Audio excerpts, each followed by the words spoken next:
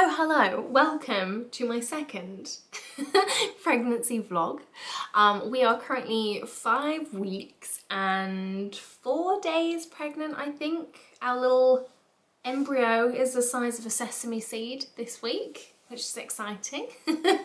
I um, We had a McDonald's the other day to celebrate. I am eating very healthy, um, but that was when Chris came back from a work trip and he was like, I really fancy a McDonald's, should we get one? I was like, yeah, okay, sure, why not? I have, I've eaten really healthy apart from, apart from this.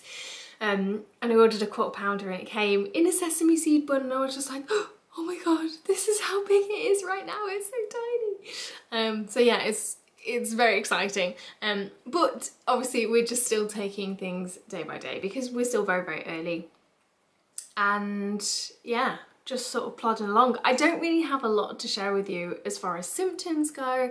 I am still fairly symptomless, um, which I am happy about in the whole morning sickness, morning sickness, in the whole sickness area, but a little bit anxious about in everything else because I don't know, you just kind of sat here like, are you in there? like, is there anything going on? Am I actually pregnant? I've got all these um, pregnancy tests on the side because um, my ovulation kit came with like these like 20 of these little dipsticks and I've bought two of those packs so I've got 40 pregnancy tests so I have pretty much been taking one every day just like dipping every morning. And they've been getting darker and darker which is a great sign. They're like maxed out now pretty much. Um, I took one the other day and it was the our test line was darker than the control line so I was like That's a lot of HCG in there. Um, and we did one of the Clearblue digital ones of the week indicator um, and it showed two to three weeks last week, which was very exciting because last time we only made it to one to two weeks. Um, so that was that felt like kind of a big moment and then we took another one a week later and it said three plus weeks so that's obviously increasing things are increasing as far as the at-home pregnancy tests go, so that's a good sign. Um, but yeah, as far as like symptoms go, the only thing I've got is like sore boobs and they do feel quite sore now. Like my nipples are just so sensitive. Um, like I've been living in my Wookawear bralette because a normal bra is just, it's very painful. Um, but apart from that, that's pretty much it. Um, I do feel like I'm overheating a lot quicker. It's very hot in the UK at the moment. It was like 29 degrees yesterday. It's 26 degrees at 10 a.m. this morning. Normally, I'm what we call nesh, which is like when you're just always cold. What do you call it in your part of the world? Ours is nesh like a cold fish. so I'm always cold, even on hot days I'm a little bit chilly, but I have just been overheating so quickly. And I think it's because your body temperature does rise slightly when you're pregnant. Um, but yeah, I've been getting very, very hot and I'm just cowering inside today because it's too much. I've been for a blood test today because um, last week, like late last week, I started to get um, some sharp pains on my right hand side, quite low down and they started off as like dull aches but very very localized. It kind of felt like someone was pressing their thumb really hard into like my pelvic bone. Um so I didn't really think much of it because they were it was like a like a pulsating pain I guess. And as far as I'm aware like cramps and stuff like low level cramping down there is um, fairly normal. You know it's growing pains and stuff. But I know that if the pain is um, like localized on one side, um, it can be a sign that something's not quite right. Um, and yeah, the doctor basically last time told me to watch out for that kind of stuff because it can be a symptom of an ectopic pregnancy. But because mine were kind of like fairly dull, like they were enough for me to notice them, like I sat there and I like wince a little bit when, when the pain came and then went away. Um, I didn't really think much of it, but I did a quick little look on the NHS website just to make sure, because I, I thought that as far as ectopic pregnancies go, it would it, it would involve, you know, bleeding, which touch wood I haven't had any so far, and excruciating pain, where you were like crippled with pain, like, you know, bent over in pain. But according to the NHS website, it can it can come with or without bleeding and the pain can um, start off as like a dull, mild ache all the way up to excruciating pain where you think that you need to go to the to A&E. So then it made me a little bit concerned. Um, I guess uh, you know, it, it's scary enough as it is, isn't it? And then you start to read something like that. And I know that the NHS are probably just trying to cover all bases, but it was, um, yeah, it was, it was a little bit concerning. So I phoned the GP and she was great. Um, she said, I'm not overly concerned at the moment, um, but it is something that I'd like to do some tests for. So she really helped to reassure me so we're basically doing some tests this week. I've done my first one today and these are HCG tests. So these um, will show the level of HCG, which is the pregnancy hormone, which is what is um, coming up on your at home wee stick pregnancy tests, right? But the, you, this the blood test will be able to give you a specific number as to the levels of it in your system at the moment and they can see whether that sort of matches up to where you should be obviously things vary but where you should be at this stage in the pregnancy and then I'm going to have another one on Wednesday and they will be able to see the difference between the two tests because things should roughly be doubling every 48 to 72 hours. Um, so they'll be able to see if my levels are going up at the, the right level that they're supposed to be. If they're sort of staying the same, that could indicate a problem. If they're dropping, that can indicate a problem. Um, if they're very, very slowly rising, that can also indicate a problem. And they might want to do some more tests. So yeah, I think we will pretty much find out the results from this one tomorrow to see whether it's in the right sort of ballpark. And then hopefully by Thursday, Friday, we'll have the results of both and we'll be able to see if things are moving in the right direction. But she did suggest that if we could afford it, it would be a really good idea to, to book in for a private scan. She said, I don't want to send you off for one with us just yet, um, because we haven't, I, like I'm not too concerned at the minute, which was a really good thing to hear, which was like, I know they're expensive, but if you can book in for one, try and book in for one as early as you can. Um, this one I think is around 80, but you do get a free rescan seven to 10 days later. So technically it's 40 pounds for the scan and you get two. Still a little bit painful, but there are people out there going through IVF and spending thousands and thousands of pounds for their little miracle. We thought for our peace of mind and my safety, because that's the thing with ectopic pregnancies is like, uh, it hadn't even crossed my mind to be perfectly honest. We were just kind of thinking of, you know, we're either gonna, it's either gonna stick or it's not. We're gonna miscarry again or we're gonna be lucky and it's gonna stick around. I hadn't even thought about uh, an ectopic pregnancy until I started having these pains. And that is really serious. Um, you know, miscarriages are hard enough at the best of times, but an ectopic pregnancy comes with a whole other load of um, very serious implications. For those of you who don't know, an ectopic pregnancy is, is where the embryo embeds um, somewhere outside of the uterus. Most are often in the fallopian tube, not always in there, but most often in the fallopian tube. And obviously the fallopian tube isn't designed to grow a baby, so at some point the tube will rupture um, and it can be life-threatening for the person carrying the baby. So they are the implications of this. Um, so yeah, we booked in for this scan and we figured if it is the worst, it gives us about a five day head start. Um, so we can hopefully get me looked after and things will be as safe as they can be. Because people can end up having full hysterectomies, you can end up losing a fallopian tube, it's really dangerous, it's really scary. So we're not going to see much on tomorrow's scan at all, but hopefully, at the very least, we will just be able to rule out an ectopic pregnancy and at least see that something is there.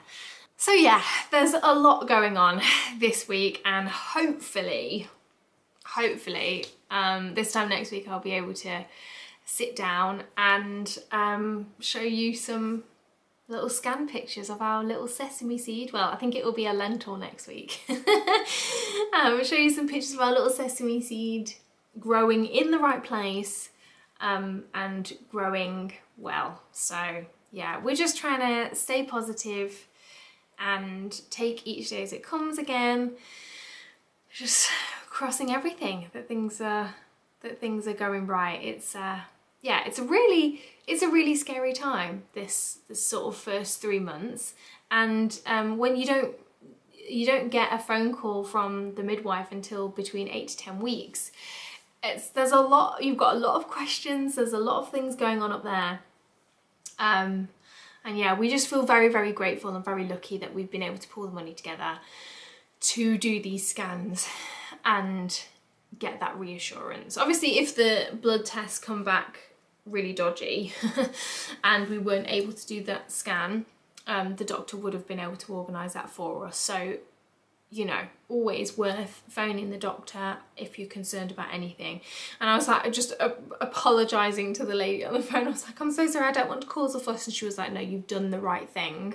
And um, because this can be really, really dangerous. And we just want to make 100% sure that you are safe.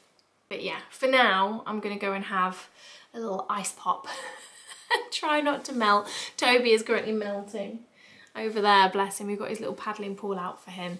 Um, and we've set up the hot tub on cold because obviously you're not supposed to go in hot tubs um, because it's really important that you stay cool and don't overheat, especially during the first trimester.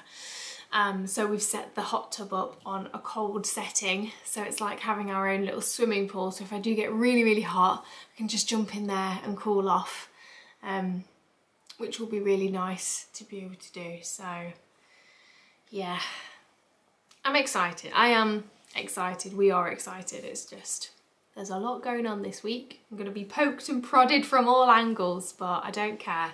As long as we get some, if we get some reassurance, it will all be worth it. So, oh, feeling, I'm getting emotional. There's a sign for you. There's another symptom. Very emotional. Cried at an advert the other day. Can't even remember what it was for, but it was full on tears. So, hopefully we'll see you next week um, with some piggies. But yeah, we plough on. Welcome to the next pregnancy instalment. I'm going to do week six and seven in one because I was actually away last week on a press trip, which was difficult. um, so I didn't get a chance to film it. As far as all the fun stuff goes, we had a five week scan uh, just to basically see if everything was where it needed to be. And it is. There's no ectopic pregnancy. We have a little embryo growing exactly where it should be. I don't know if you can see. Uh, there. That's our little embryo at five weeks, which was incredible. Couldn't believe it. Felt really, really surreal. Um, and we've got an eight week scan in a few days time. So hopefully a little, what will it be then? Eight weeks, I think it's a kidney bean or a raspberry or something. Hopefully then they'll have grown a little bit more, but I'll share that with you in the next pregnancy vlog. Um, yeah, all signs point to everything being okay at the moment. So week seven, it's about the size of a blueberry, which is really cool. And there's a lot of stuff going on. Um, developmentally for the embryo at this point. Um, and my symptoms have kicked in. They kicked in uh, about a couple of days into week six and my boobs are on fire and are absolutely massive so um, none of my bras fit which is difficult I'm just living in bralettes because they're the only things that fit and um, the only things that don't hurt. Most, most of the time at home I'm just going bra free. I look like an absolute state. I've actually had to leave the house today because I went to get my hair done. this is the only reason why my hair is washed. Do not be fooled. I have, yeah, just been shuffling around the house looking like a complete troll. Um, but yeah, my boobs have been really, really sore and the sickness has started. I haven't been sick yet, touch wood. Um, however, I have got 24-7 severe nausea to the point where I'm really struggling to eat anything, really struggling to stay hydrated. Um, it is it's horrible. It is really, really horrible. I think I kind of expected to be sick and that would be awful because you're being sick. I don't think I expected nausea to be this bad, but there is no respite from it it's just 24 7 from the minute I open my eyes in the morning to the minute I close them at night. I'm finding myself going to, I'm so emotional as well. I probably will end up crying at some point. I I cried at a shower the other day because I had a really nice shower and I full on sobbed because I was so happy with this shower. Sore boobs, nausea and very emotional. They are my main uh, symptoms and absolutely flipping exhausted as well. That's another one. But yeah, I didn't expect, like there's no respite from this nausea. Um, morning sickness is a complete hello. I'm okay. Um, morning sickness is a complete lie. It doesn't just happen in the morning. All your breath. I can't. That's another one. Severe um, sense of smell. Like air, I can smell everything. Including your breath. You smell lovely because you had a bath. So I'll just sniff behind your ear. Oh, you smell lovely, but your breath, I can't. Bless you. I would just like to say, I feel like it goes without saying, I am so grateful to be pregnant. I'm so grateful for this pregnancy and how far we've got and everything. But I feel like we need to normalise opening up a space for um, pregnant people to be able to talk openly and honestly about how shit it feels sometimes. Because it's really hard. Like it's such a huge adjustment. And even though you know it's coming, you just, you can never fully prepare yourself for it until it's here. And um, yeah, I've been struggling. So morning sickness all day nausea is um, kicking my ass. And I think what's making me, what's like I got really down about it yesterday. I can't, I can't stop it. It just happens. I got really down about it yesterday because I was thinking, oh my God, this could be like another four, six weeks. It could happen for the entire pregnancy. And I honestly don't know how I'd cope. Um, but I'm just really trying my best. I've got some sickness bands that I got off Etsy, which kind of help. Well, that one doesn't because I've not tied it properly. Um, sickness bands are helping a little bit a little bit I don't know. I'm, I'm wondering about acupuncture because I know a lot of people swear by that for morning sickness because the pressure kind of helps a little bit but I've got those, I've got ginger sweets, I've got, I swear if somebody else says to me ginger biscuits, like another medical professional says ginger biscuits, I'll cry, I will just cry.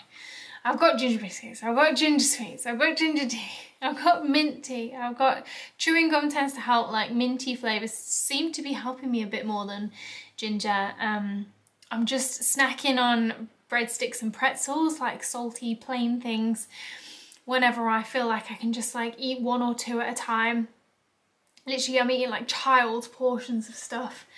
Um, I've gone off my tea. Oh, it's a disaster. I've gone off my cup of tea.